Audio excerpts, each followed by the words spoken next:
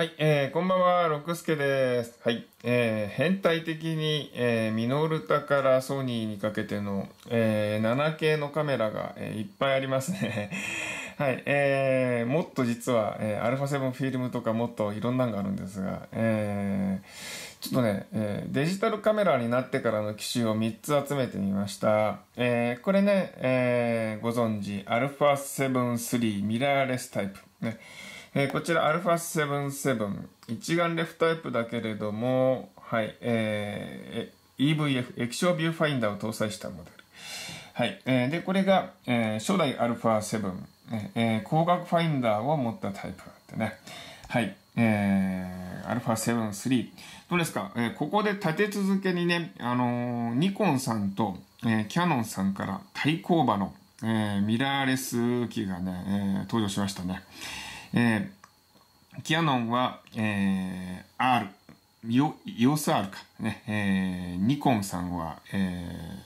ー、Z6、Z7 ね、えー、BMW のスポーツカーか、みたいなね、えー、感じですが、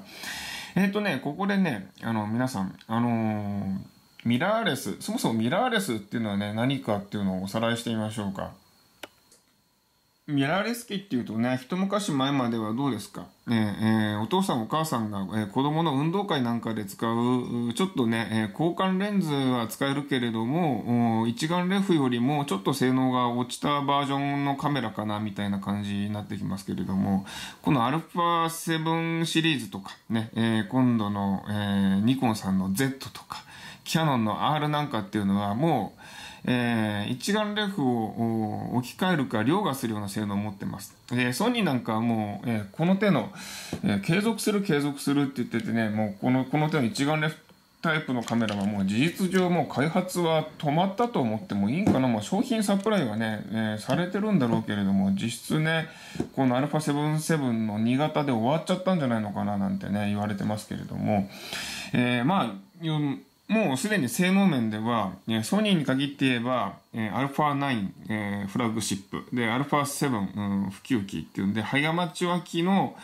えー、ミラーレスに関してはもう、一世代前の一眼レフをしのいでます。というか、ソニーはもうこれ一択しかないんで、まあ、キャノンさん、ニコンさんはね、えー、光学ファインダーを持った機械と、あのー、両立するみたいですけれども、まあ、一つ、うん、言えることは、あのー廉価版、えあのー、ミラーレス、今のこの手のフルサイズセンサーを持ったミラーレス機っていうのは一眼レフの、えー、ダウングレード版ではないっていうことをね、えー、ちょっと頭に入れておいていただければかななんてね、えー、思います。ね、えっ、ー、と、ミラーレス機と普通の、まあね、一眼レフカメラと何が違うのっって部分でいくと、うーんとね、まあまあ、ちょっとへ、かっこ悪くなったかな。えー、まあ、こうやってレンズがつくわけじゃないですか。ね、えー、レンズがついた時に、まあ、あのー、普通の一眼レフカメラっていうのは、ここがね、光学ファインダーになってるんですよね。で、ここにミラーがあって、まあ、こう、まあ、結像して入ってきた、こう、情報っていうのは、光の情報っていうのは、ミラーで反射して、上のペンタプリズムで反射して、こういう感じで、ファインダーで像を見てるんですよね。で、ここに、まあ、フィルムカメラならフィルム、えー、デジタルカメラなら CCD センサーっていうのがついていて、えー、ミラーがアップして、えー、シャッターボタンを押すとミラーがアップして、ここに、えー、CCD センサーなりフィルムに、えー、焼き付いて、えー、像が結合して焼き付いて、えー、撮影が行われる。で、シャッターが、そこでシャッターも開くんだね。シャッターも動作して。ミラーが上がってシャッターが動作して撮影が行われると。ただ、ミラーレス機っていうのは、どうなってるのかっていうと、CCD センサーがあって、まあ、こう、レンズがあって、この複雑なミラー機構とか、えー、プリズムがありません。その代わりに電子ファインダーが載ってて、えー、この CCD に得られた画像を電子的にファインダーに送って、ここの電子ファインダーで、あの、見る格好になります。だから、シャッター膜はついてます。シャッター膜はついてるけれども、えー、このミラーとかプリズムがないんで、非常にこう、ボディを薄くできて、コンパクトにできるってメリットがあります。で、僕なんかはね、ビデオカメラから入った口なんで、この初代の α7 が出た時に、光学ファインダーってね、なんで、何？デジタルカメラで光学ファインダーにする必要があるの？ってね、えー、僕も素人ですから思ってしまってね、まあもちろんその、ね、あのー、視野、視野率の問題とか、ね、応答性の問題とか、当時はクリアしなければならない課題がいっぱいあって、ね、えー、およそだからその、もう、えー、黎明期のデジタルカメラはレンジファインダーが別についてましたよね。あの、なんていうのかな、こういう、なんか、なんか素通しの一昔前のなんかコンパクトカメラ、レンジファインダーによるビューファインダーがついてて、えー、あのね、後ろに液晶の、うん、ファインダーがあったけど、ほぼほぼ皆さんね、液晶のファインダーしか見なかったっていうんで、レンジファインダーは、光学ファインダーは消えてしまったっていう経緯があったんで、えー、なんで、なんでね、えー、CCD に、CCD に映ったね、えー、画像を、えー、ここに映してしまえばいいじゃんって僕はね、えー、素朴に思ってたんですけれどもね。えー、まあ、まあそういう格好で、光学ファインダーを持つ格好で、えー、各社まずね、えー、あの、一眼レフカメラのデジタル化っていうのが始まったんですよ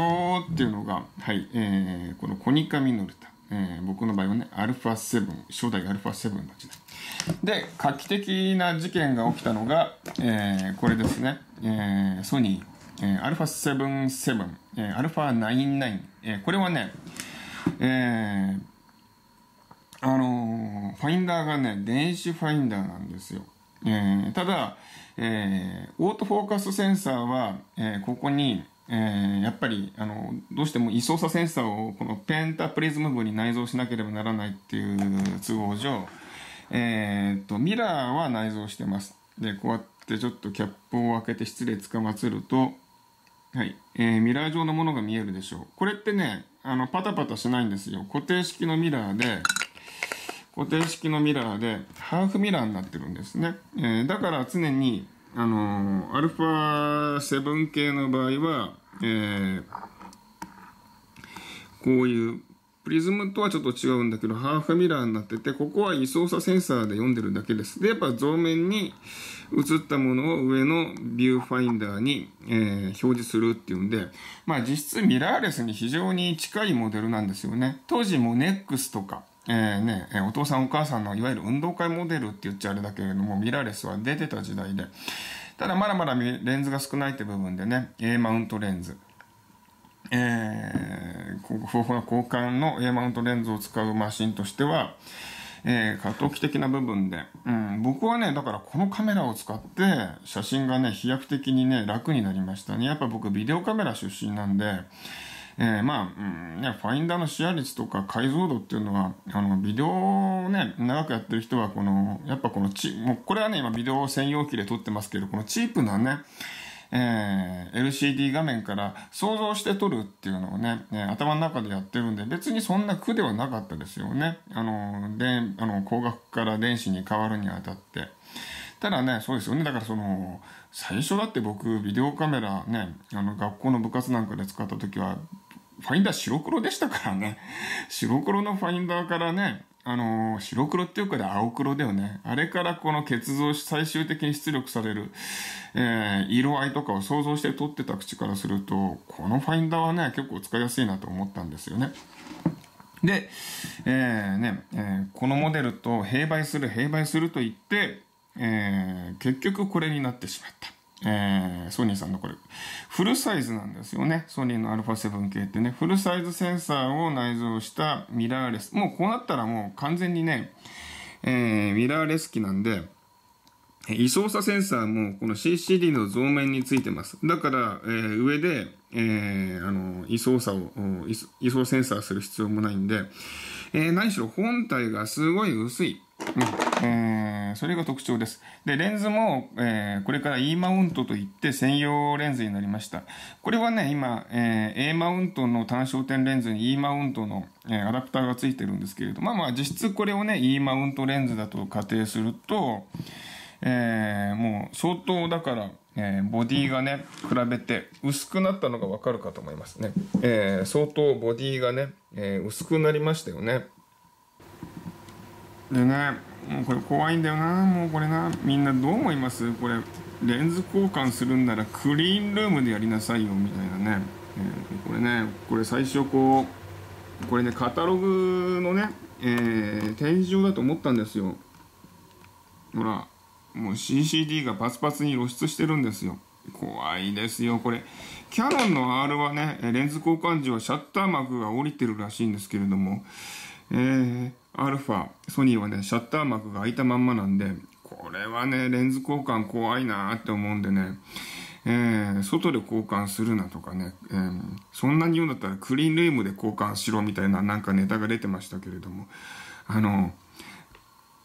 レンズ交換ができないカメラってそれって一体型カメラにしちゃえばいいんですよね。えー、もうしょうがないですよね。え、それはうまく埃がつかないように工夫するしかないと思います。皆さんどうしてますか？僕はなるべく、上には向けないよく言われてることですよね。えー、本体は、えー、上埃が落ちてくる上には向けないみたいなね。えー、ちょっとここなんか解決策ありますか？シャッター閉じながら交換できるとか、埃がつかない方法。これ逆に僕は聞きたいんですが。はい。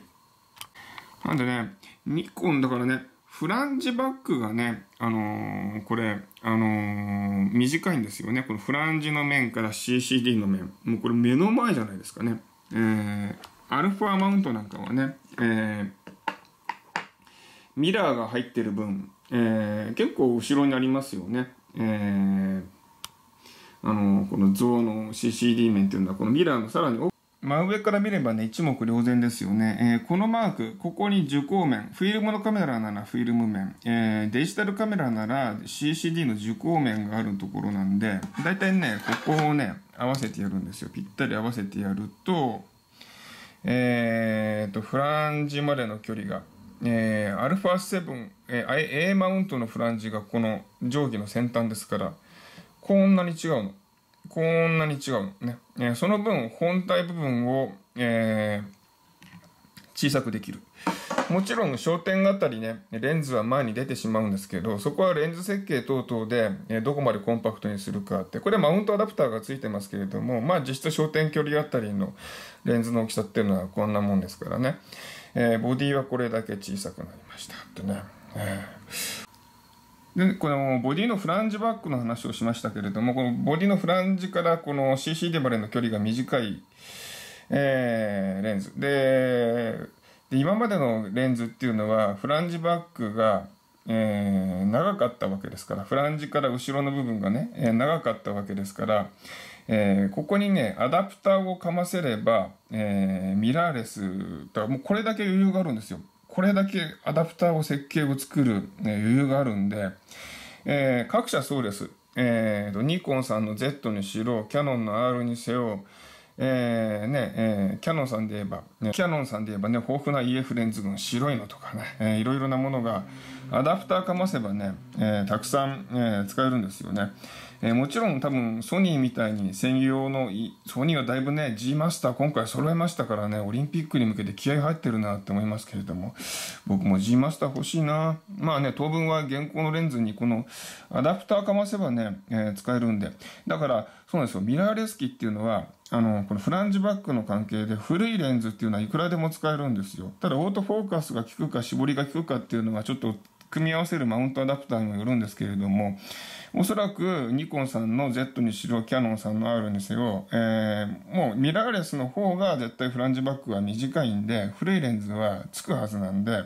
そこでね皆さん安心して、えー、ちょっとこれ1台買ってみようかっていうノリで、えー、この手のミラーレス機を買ってみるっていうのもいいかもしれません。えーで僕なんかもうソニーはもうこれ一択しかないんで、えー、これでやっていくしかないんでね。ただ不自由は感じてませんね。えー、っとこれに大抵2470の F2.8 か8200の F2.8 えー、まあ鉄なんでねほぼほぼマニュアルで撮ってる点もあるんですけれども、えー、オートフォーカス使う場合はちょっとねオートフォーカスを効くレンズを搭載したりして、えー、使ってますけれども、うん大方不自由はない。でやっぱりこの、センサーがでかいっていうのはいいね。なんかだいぶ取り方が変わっちゃった気がする。はい。なんでね、何かとミラーレスっていうと、やっぱ女子カメラの方が使うおしゃれなカメラみたいなイメージでこうずっと来ましたけれども、もちろんこの α7 っていうのもね、1、2、3と来て、僕もこの α77 を買った直後に出たね、1型なんていうようなモデルなんで、僕もね、3型になって満を持して、買った感はあり、買ったんですけれども、うん、もう、こっちのセブンセブンには戻れないくらいのね、えー、なんか、うん、実力をもう、感じ取りましたね。もうちょい、だいぶね、使いこなしてきましたけれども、えー、もうちょい、もうちょいちょいかな。はい。今度は秋が深くなってきたんでね、えー、紅葉を撮ろうと思います。